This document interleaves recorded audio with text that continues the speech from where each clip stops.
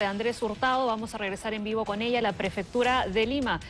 Carla, lo último de la información, por favor.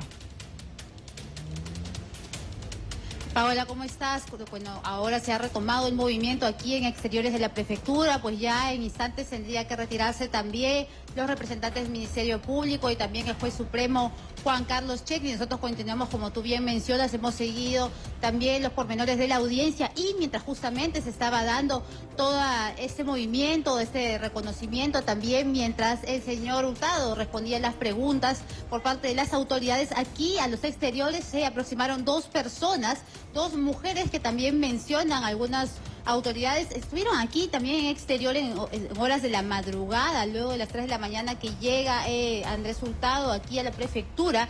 Eh, no se han, digamos, no han querido identificarse, solamente mencionaron cuando llegan aquí a la garita de seguridad que eran familiares de Andrés Hurtado Grados y se sintieron un poco atosigadas por la prensa y comenzaron a avanzar sin dar declaraciones, pero en un momento de pronto eh, se paran o sobreparan y nos mencionan que ni siquiera han podido traerle un desayuno, digamos que él no ha tenido que comer Justamente lo que han declarado muy brevemente. Eh, algunos especulan que una de ellas se trataría de la madre de Yosetti Hurtado, justamente. Nosotros no hemos podido confirmar esa información, ya que la señora llevaba unas gafas eh, bastante grandes, entonces no hemos podido, tampoco quiso identificarse a pesar de que le hicimos la consulta sobre su identidad, pero sí estaban ofuscadas porque no habían podido digamos, acceder o ingresar para poder trasladarle su inquietud a las autoridades y tampoco eh, alcanzarle un desayuno, un almuerzo al señor Hurtado. Entonces había un poco de conmoción en ese momento, las autoridades también,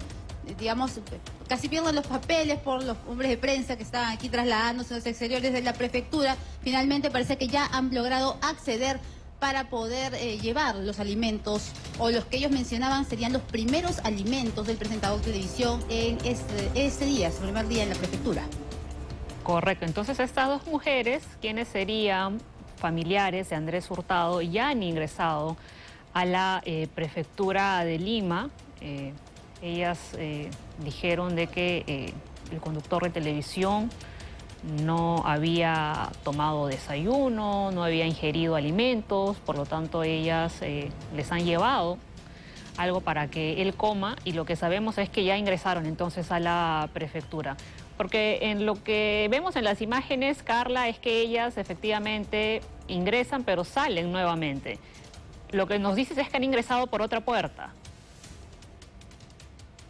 Sí, justamente ellas salen de, a ver si mi compañero nos apoya aquí con las imágenes, ellas justamente hacen esta consulta, esta consulta inicial por este acceso peatonal, que en realidad viene a ser el ingreso de la región policial Lima, ¿no? que está junto al lado de las oficinas de la DIVIAC. Entonces lo que se le pide es que se desplacen hasta el segundo acceso, la segunda garita de seguridad, que sería la más correcta. En medio de estos dos ingresos es que comienza a haber un poco de desorden entre la presencia de los medios de comunicación, y digamos eh, la alteración de esas dos mujeres que no querían ser asiedadas por la prensa, lamentablemente sí un poco de digamos desconcierto entre las autoridades también y las preguntas constantes a estas dos mujeres hasta que finalmente una de ellas sí accede a decir que sí, que, que por favor que necesitaban paciencia o tranquilidad porque ni siquiera había probado un bocado en el día de hoy el señor Andrés Hurtado.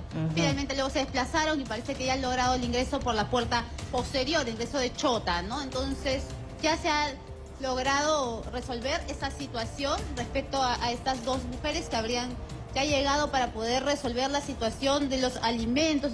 Se mostraron preocupadas, sí, por el señor Hurtado y hemos escuchado también en esta audiencia también de control de identidad por las pastillas y una mm. serie de situaciones de salud que presentaría o argumentado presentar justamente y, y hoy día ha mencionado con bastante detalle eh, lo que tendría que revisarse sobre su situación de salud. Sí, ha solicitado que sea atendido por un neurólogo y ha mencionado que toma nueve pastillas diarias debido a la hipertensión. Gracias, Carla, por la información desde la prefectura de...